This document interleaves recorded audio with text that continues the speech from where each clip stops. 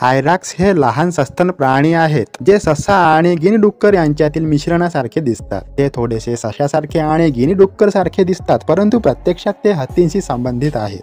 Hyrax हे आकर्षक प्राणी आहेत. ते आफ्रिका आणि मध्य पूर्व आफ्रिकेत बहुतेकदा खडकाळ भागात राहतात. या प्राण्यांना तीक्ष्ण पंजे असतात. याचा वापर ते खोदण्यासाठी करतात. या केसाळ प्राण्यांना लहान शेपटी लहान पाय गोलाकार शरीरे आणि लहान कान आहेत. ते तपकिरी राखाडी आणि पिवळसर यासह वेगवेगळ्या रंगात येतात. हायराक्सला सूर्यस्नान करायला आवडते आणि ते अनेकदा उन्हात बासिंग करताना दिसतात. त्यांच्याकडे विशेष पॅड केलेले पाय आहेत जे त्यांना खडकांवर पकडण्यात आणि चढण्यास मदत करतात. हायराक्स शाकाहारी आहेत याचा अर्थ ते पाने फळे आणि गवत यांसारख्या वनस्पती खातात. त्यांना अद्वितीय दात आहेत जे आयुष्यभर वाढत राहतात. हायराक्स हे सामाजिक प्राणी आहेत आणि वसाहती नावाच्या गटांमध्ये राहतात. ते किलबिलाट आणि शिट्ट्यांसारखे वेगवेगळे आवाज वापरून एकमेकांशी संवाद साधतात. हे सस्तन प्राणी उत्कृष्ट उडी मारणारे आहेत आणि ते खडकापासून खडकावर सहज झेप घेऊ शकतात. हायराक्सला गंधाची तीव्र भावना असते ज्यामुळे त्यांना अन्न शोधण्यात आणि धोका टाळण्यास मदत होते. त्यांच्याकडे जाडफर कोट असतात जे त्यांना थंड तापमानात उबदार ठेवतात. हायराक्स दिवसा सक्रिय असतात आणि रात्री त्यांच्या खडकाळ घरांच्या सुरक्षिततेत विश्रांती घेतात. त्यांच्याकडे एक अद्वितीय पाचक प्रणाली आहे जी त्यांना कठीण वनस्पतींमधून पोषक द्रव्ये काढू देते. मादी हायराक्ष एका वेळी एक किंवा दोन बाळांना जन्म देतात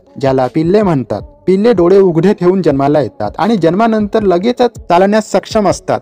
ते दातांच्या पूर्ण संचासह जन्माला येतात. ते जंगलात बारा वर्षांपर्यंत जगू शकतात. गरुड साप आणि मोठ्या मांजरींसारख्या मोठ्या भक्षकांकडून आयराक्सची शिकार केली जाते. काही संस्कृतींनी त्यांना शहाणपण आणि दीर्घायुष्याचे प्रतीक मानले. ते त्यांच्या विष्ठेद्वारे बिया पसरविण्यास मदत करतात. त्यांचा आकार लहान असूनही ते त्यांच्या चरण्याच्या सवयींद्वारे वनस्पतींची वाढ नियंत्रित करून त्यांच्या परिसंस्थेत महत्वाची भूमिका बजावतात.